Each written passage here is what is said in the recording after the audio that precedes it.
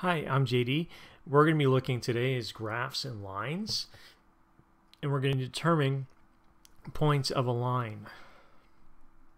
Let's look at some examples.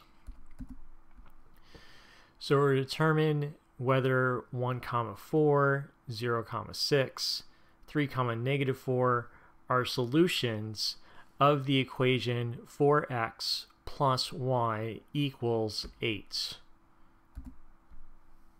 Right, so let's so what you would do is each of these points has an x coordinate and a y coordinate. And to see if it is a solution or not, you're just going to plug it in. If it's a true statement, it's a solution and therefore it's a point that falls in the line. If it's ends up being false when you plug it in, then it's not a solution and therefore it's not on the line. So we're going to start with 1 comma 4. Let's plug that in. So that would be 4 plus 4. 8 equals 8. So that's true. And so yes, 1 comma 4 is a solution. So it is a point that falls on that line. Let's look at the next one. I would just get in the habit of just writing it out. So 0 comma 6, we're going to plug that in. That's 4 times 0, which is 0, plus 6, which is 6. So 6 equals 8.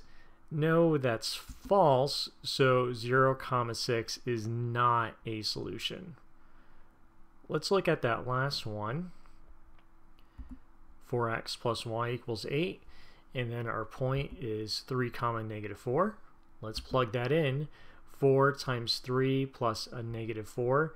That would be 12 minus 4, 8, uh, 12 minus 4, which is 8 equals 8. So yes, 3 comma negative 4 is a solution, and therefore it's a point on the line. And with the line itself, there's many points that can fall on the line. And so the equation describes that those points. And when you have a point that falls outside, that's not on the line, it ends up making it false.